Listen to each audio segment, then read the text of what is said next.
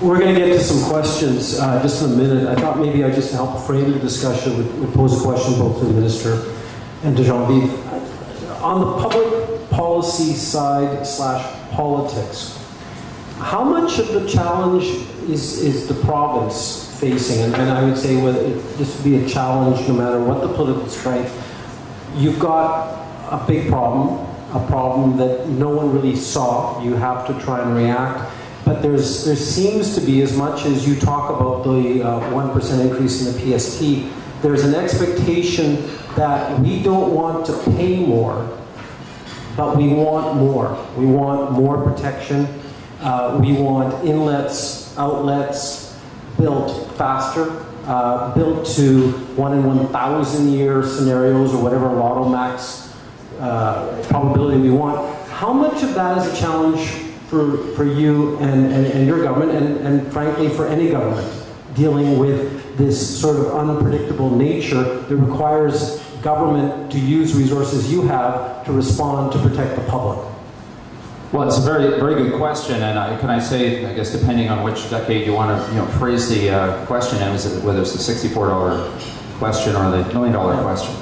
Uh, I mentioned it earlier because we were faced with this uh, exact same debate back uh, in the 1950s and 60s. Now, just in case anybody thinks that Duff Roblin just uh, walked in and said, we're going to do this, and there was the Hallelujah chorus, no. Uh, what happened actually was after the 1950 flood, the uh, federal government put in place a technical study that recommended essentially uh, the idea of diverting water around Winnipeg. Uh, it was very controversial in its day, not only um, in terms of the sales tax, which wasn't entirely to do with you know the the uh, the floodway, but was a very significant you know part of it. Uh, and you know it's funny how in retrospect we always remember that. Uh, you roll it forward, absolutely. Uh, you know we clearly recognized that we had to invest in, in, in core infrastructure, and we clearly uh, recognized that one of the key elements is, is on the flood side. And you're absolutely right, the expectations in Manitoba are that you're going to make a significant difference. Last week, we uh, rolled out the plan of uh, the Lake Manitoba, Lake St. Martin outlets. The cost range is between three and $450 million. Bottom line, though, is, is we know that you have to have not only the plan, but the revenue source for it. Now, Duff Roblin uh, was actually, after he brought in all of this, uh, couldn't get elected to a federal seat in Winnipeg. So it was controversial in its day. Now, I want to say that um, I'm sure our, some people would consider what we did on the sales tax to be somewhat controversial. I, I think that the key element here is to be upfront with people. And maybe there are issues related to sales tax where you know we could have done a better job early on in bringing people on board. I had a similar discussion right here at the uh, Free Press a while back. But you got to be upfront with people. You want to make a difference, you have to invest significant amounts of money.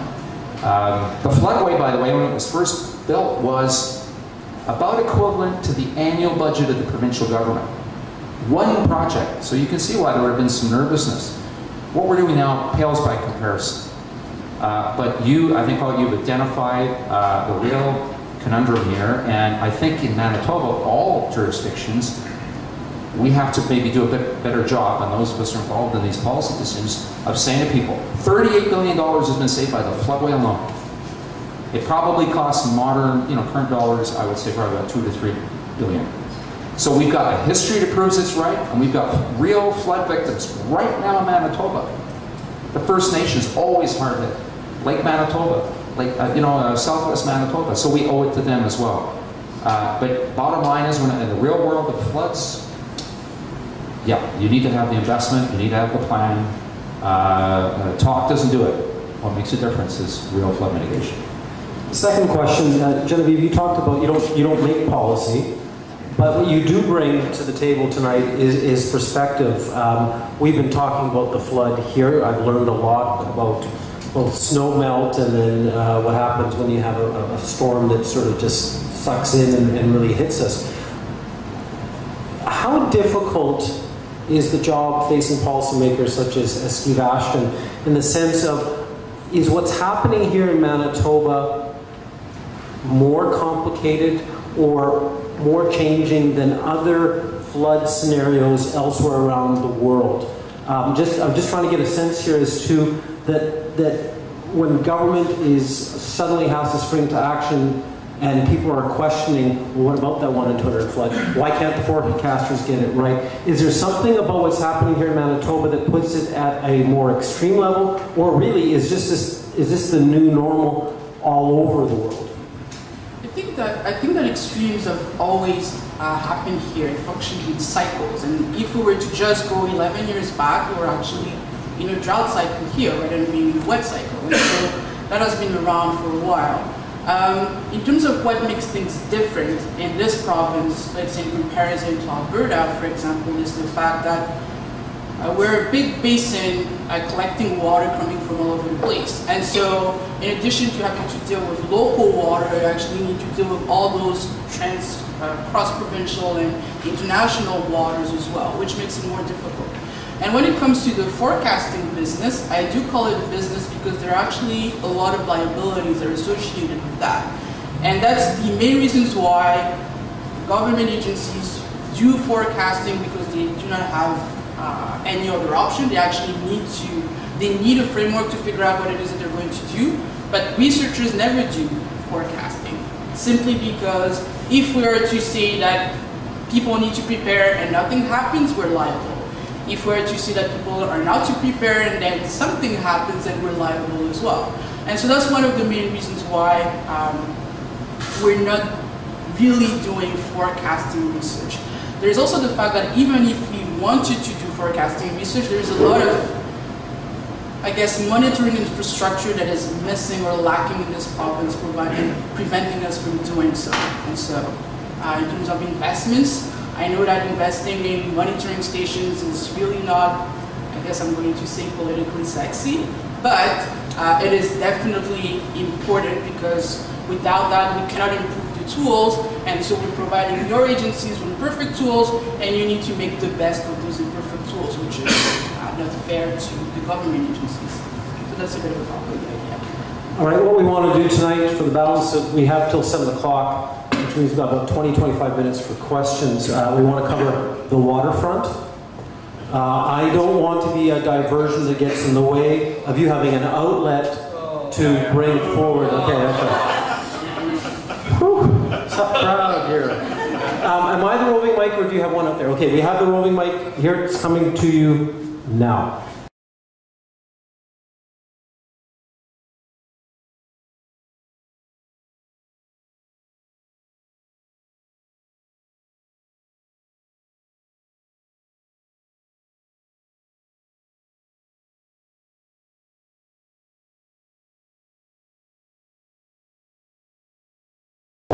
Good question, and, and the uh, simple answer is yes. Uh, they're, they're, they're interconnected. We actually announced our surface water management strategy just recently. And I'll give you an example. One of the problems uh, across the prairies is the, is, has been the drainage of wetlands. Now, wetlands perform a number of functions. They're nature's filters. They do a tremendous job in purifying the water.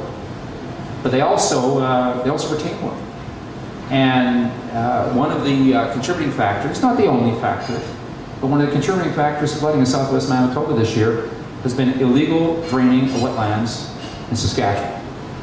So we have actually, in our strategy, uh, we've identified that this is a win-win.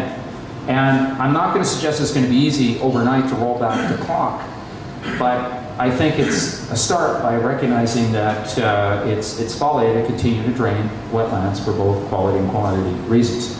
Uh, I want to stress too on the, on the, the drainage side, uh, we've cracked down on illegal drainage in this province. They uh, are looking at that in Saskatchewan, so that, that's positive. Uh, I think there's been a quantum shift even just in the last 10, 15, 20 years. We've done a lot of other things on water quality. Probably the most significant thing we've done uh, is really identify in terms of purification. It's uh, it's got a number of sources. We're dealing on the municipal side. That's important. Uh, we put a more moratorium in terms of uh, hogs, and we changed uh, actually the, the, the, practices, the farming practices. But you can't pick on any one sector because the reality is when it comes to water quality issues, we're all part of the problem. And we all have to be part of the solution. But I, I think you identify, you know, in a way that something you're going to see a lot more discussion over the next period of time is actually you invest in uh, water infrastructure generally, it, it benefits both the quantity and the quality side if you do it right. Uh, just a quick comment. So in terms of the, uh, I guess, drainage um, and retention coupling, we are actually starting a few pilot projects as well to figure out what are the best combinations of drainage and retention that we can actually uh, that can actually provide the best benefits, not only environmental benefits, but economical benefits as well. And when I'm talking about drainage, both surface and subsurface drainage or tile drainage. So we have a few projects underway, and if you want to hear all about those, Selena Randall here is actually uh, coordinating many of those projects. So she can tell you all about those.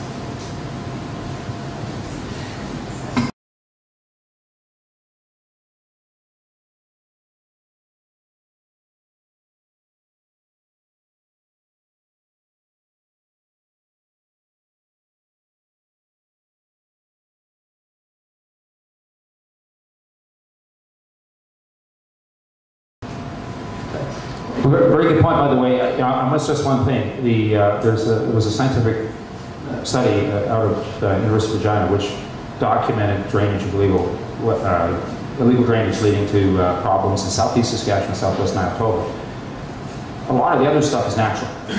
When you get more than 200% of rainfall in, in three months, as we did earlier this year, you're going to get significant impacts. Uh, Saskatchewan got hard, hit hard this year, so I want to make it very clear that you can't just say it's Saskatchewan's water. Water doesn't boundaries, international or provincial.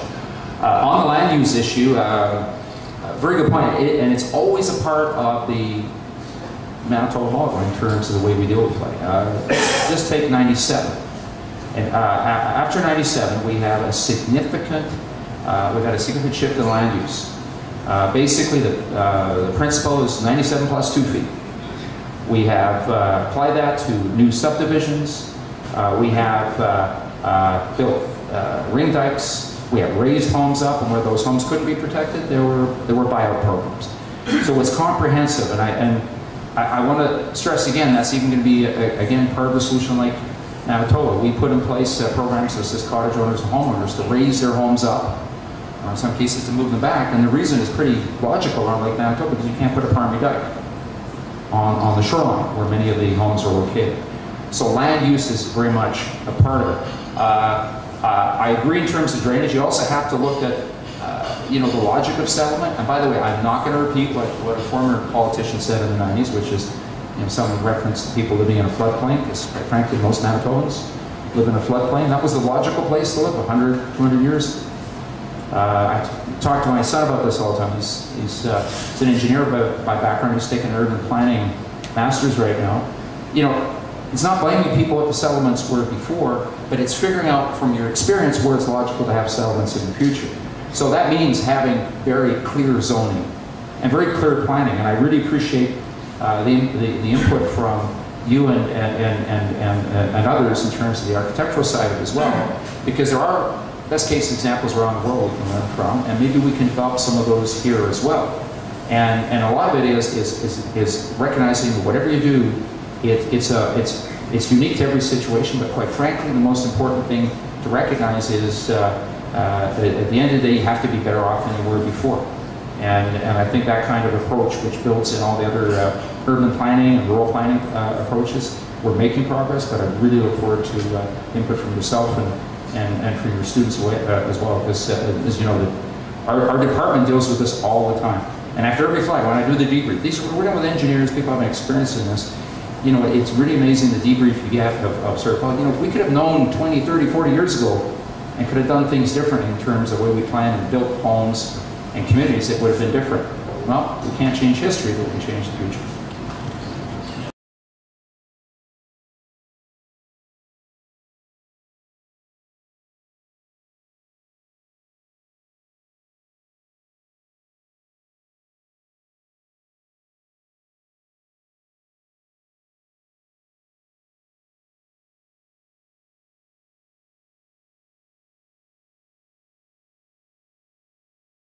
Well, first of all, in terms of the operation of our uh, flood uh, infrastructure, there are operating rules uh, that have been put in place.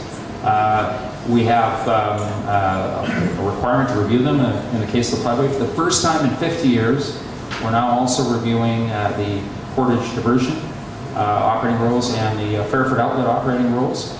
Actually, we have a, a, committee that's been appointed. I actually also announced that for outreach, Dave Faurschou, former MLA for Portage, is going to be conducting that. Uh, so again, it's, it's, it's, done through operating rules. And it's important to note, by the way, that, uh, you know, take Lake Manitoba and Lake St. Martin. One of the biggest problems historically was the fact there was no artificial outlet out of Lake St. Martin. It was looked at in 1978, rejected. There is an artificial uh, enhancement out of Lake Manitoba, the uh, Fairford. Uh, there's also the artificial inlet that goes in. Doesn't mean, by the way, in a major flood there wouldn't be natural inflows. There have been natural inflows uh, uh, historically as well. Uh, and I can tell you, in terms of you know flood compensation, there's the Disaster Financial Assistance Program, which is a national program that deals with damage to property strictly.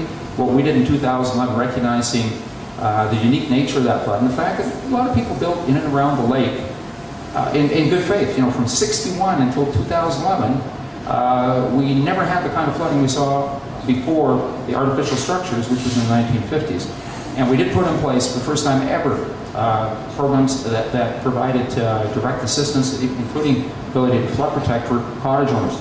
First time ever in Manitoba. Uh, and we did put in place a significant number of programs, it was about $120 million. You know, I can't talk about individual cases. Obviously, uh, I always respect one thing. I never argue with anybody that's been through a flood, by the way, and I never take away any of the uh, issues that they have. We, we, do have appeal mechanisms, other mechanisms deal with it.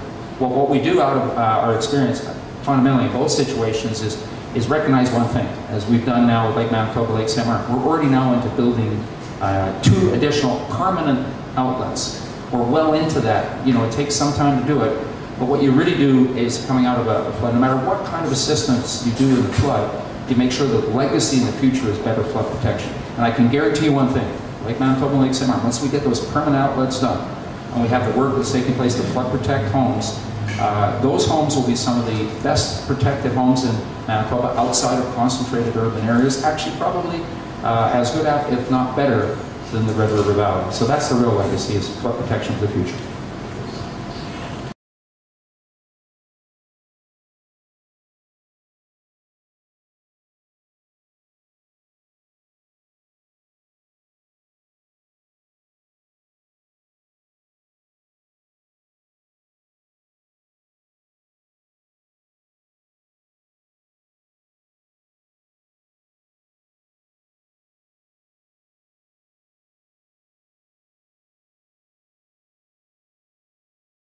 Well, it's a very good question, and I can point to the Coulter Bridge, which is, uh, we had to rebuild it. We did it in less than three years.